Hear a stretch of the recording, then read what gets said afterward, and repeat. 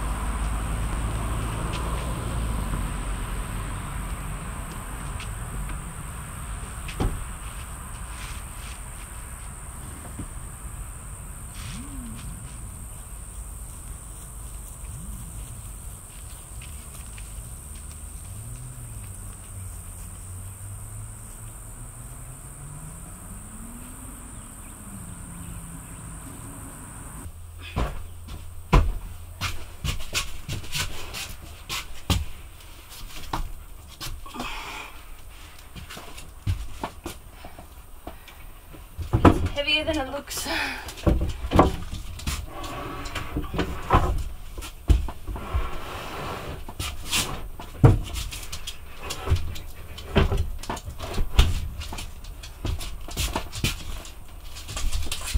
perfect.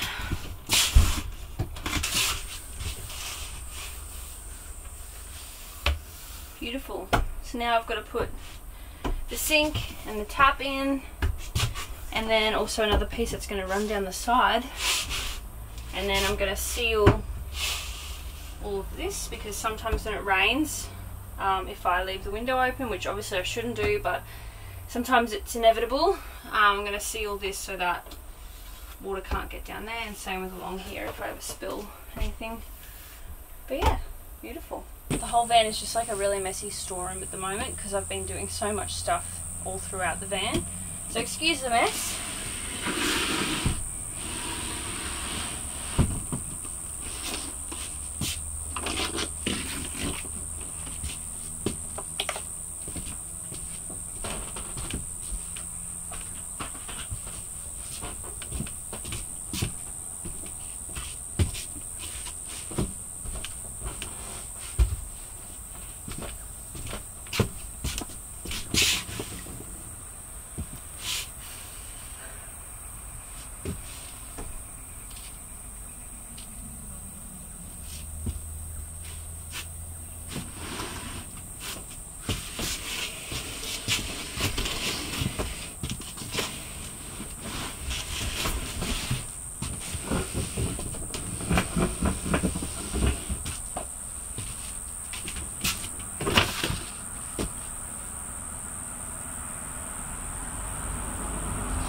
next job is to put the piece here, but I'm not actually going to screw it in yet because I'm still yet to do the plumbing.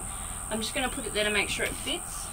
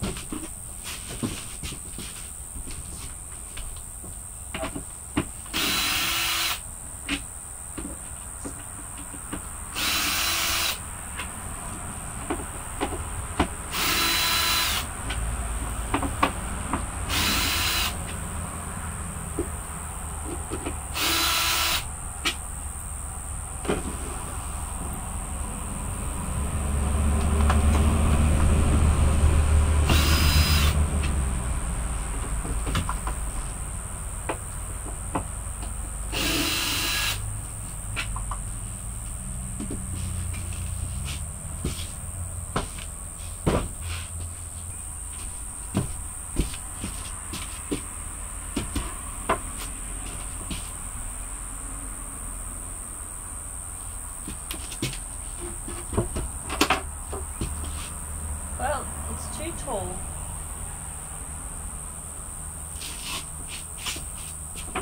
That's okay, I can cut it. I don't know how I measured that wrong.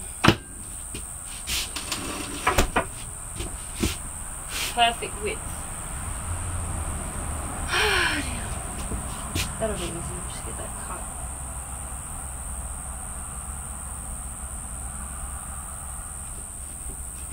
So that's going to essentially go there.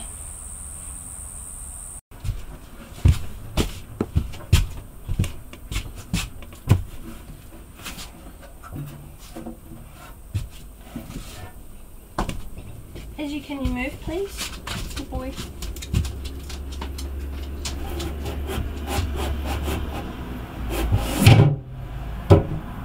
So eventually I actually want to replace the sink because when I first bought it, it was supposed to be black um, and it looks black at some angles, but it's actually like a dark steel, like silver color. So it's not really ideal and there's bits of rust coming up which I should be able to clean off with like a sharp like scourer or something but I think I want to replace the sink with a darker black one or maybe even gold but I'm yet to sort of decide that I can do that in the future. The sink that I have is like a standard size sink so I can get another one that fits the same cut in the bench